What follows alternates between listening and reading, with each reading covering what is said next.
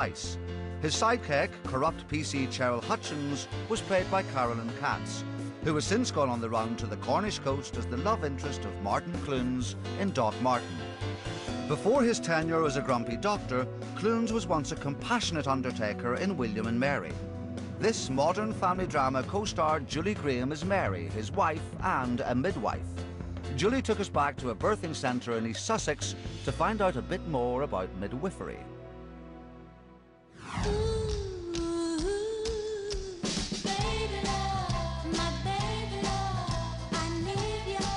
Oscar Wilde once observed that life imitates art far more than art imitates life.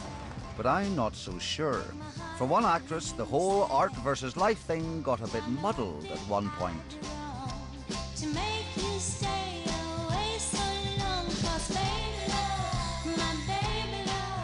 Hi, it's Julie's. Julie Graham is visiting a local birthing centre to find out just how accurate her portrayal of a midwife in William and Mary actually was. This is the one-bedded room here. She's got such a different feel from the hospital. It has. It's You know, homely. yeah, yeah, That's why we call it Home from Home. yeah.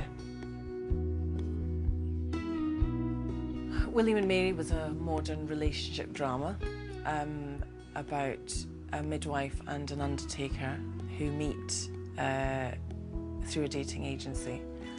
Um, the overall arc of the series was a is a love story.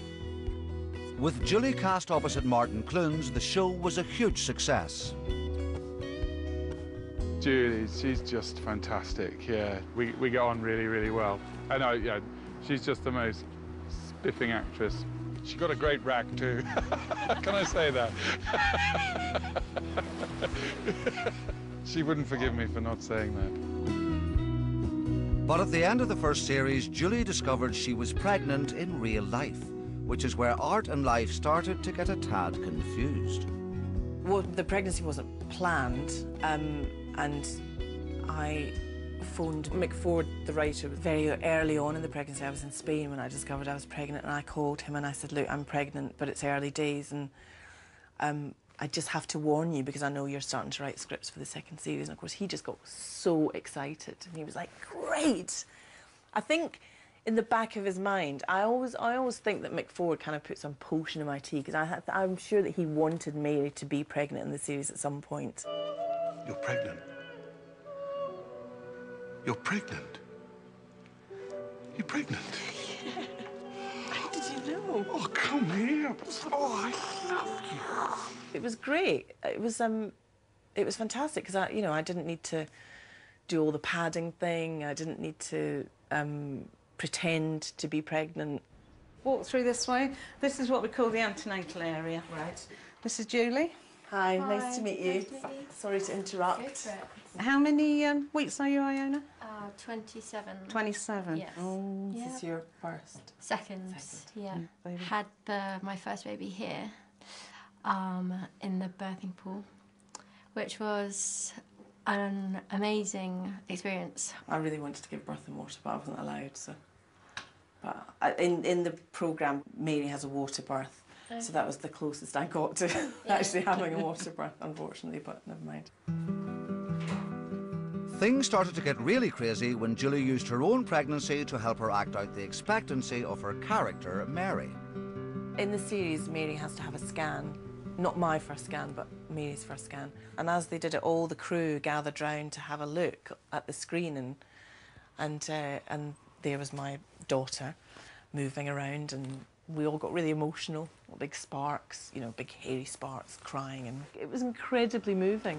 Yeah, okay, well, from these measurements, I'd say you were 10 to 12 weeks. Yeah. Oh, oh. Then, of course, I realised afterwards that it was a completely stupid thing to do because if there'd been something wrong, I would have found out in a whole room full of people that, that something was wrong with my baby. So it was incredibly stupid of me to let it happen. And also, I think my husband would have been very off that all the crew were getting to see his baby and he wasn't. Julie, this is the main labour room with the bath in it, or pool.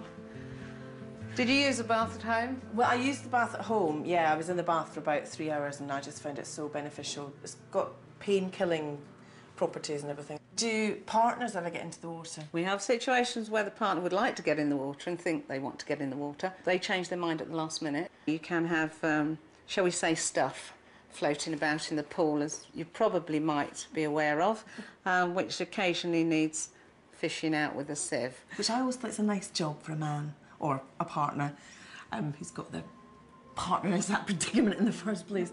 Absolutely.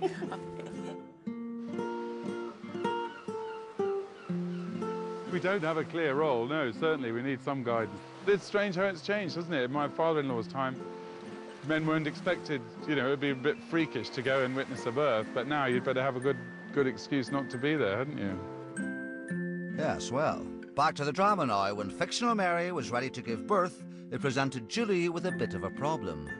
She wasn't. I was about seven months. And um, obviously I had to give birth and make it look quite realistic and but I'd been sort of it'd been drilled into me by the midwife that I wasn't allowed to actually push. So I had to pretend to push without pushing. It was really really difficult.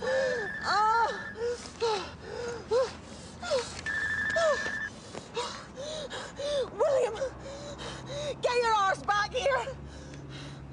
Mom, get off the line. It was amazingly emotional, you know, kind of going through it and Martin being there and holding the baby and because Martin thought that I was actually really having his baby. I kept having to remind him that it wasn't his baby. He was getting emotionally attached to it. This little baby comes out, and the clever little thing, it was a two-day-old baby we were filming with. It sort of cleared, cleared the water from its eyes and sort of almost smiled at the camera, and that was the, the end of series two.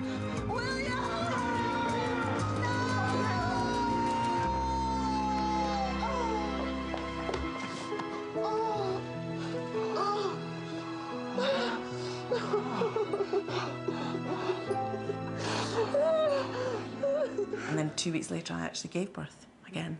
So, two births in one month was quite traumatic, but never mind.